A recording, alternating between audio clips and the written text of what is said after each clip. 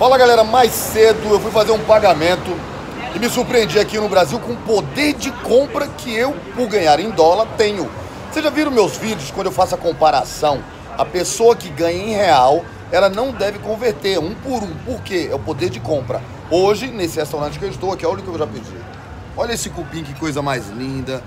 Tomando aqui um combo ou de parto, aqui com os meus amigos, reunidos aqui em São Paulo. Eu vou mostrar para vocês o que é poder de compra quando eu falo com vocês que o americano tem um poder de compra absurdo se comparado com o brasileiro. E o brasileiro não entende isso e não briga por uma reforma tributária. Deixa a conta chegar que vocês vão entender.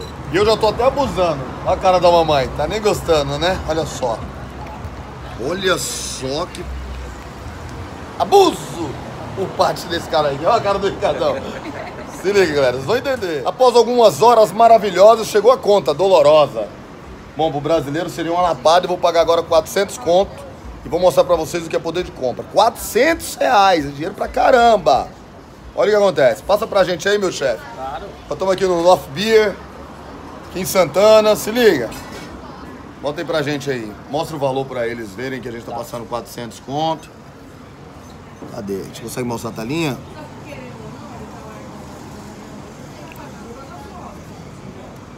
Transação aprovada.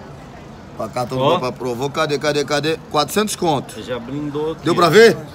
Já pingou aqui. Olha aqui, galera. Quanto deu no meu cartão. Deixa eu ver se eu consigo pá, mostrar pra vocês. Tá vendo?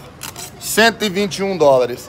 120 contos. Sabe quanto que eu vou nos Estados Unidos tomar uma garrafa de uísque, dois pratão de comida igual aquele? Nunca!